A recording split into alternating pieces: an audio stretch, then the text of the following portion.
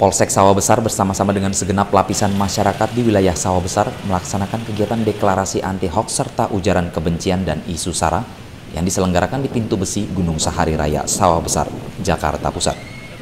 Dalam kegiatan kampanye tersebut juga dihadiri oleh Kapolsek Sawah Besar beserta jajarannya dan Ramil Sawah Besar, Camat, Pokdar Kamtipmas, beberapa ormas serta siswa dan siswi sekolah SMA Negeri 1, Jakarta.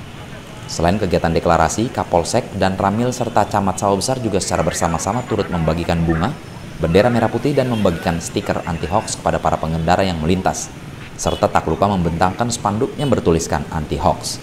Dalam kegiatan ini, Polri mengajak pada masyarakat untuk secara bersama-sama memerangi berita-berita hoax, serta menghimbau kepada masyarakat agar cermat dalam menerima informasi yang beredar.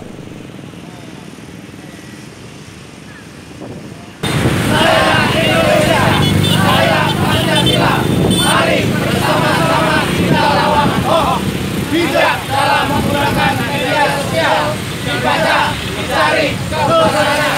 Saya, Anda, kami semua Indonesia. Kita anti hoax. Dari Jakarta, tim liputan Tribrata TV, salam Tribrata.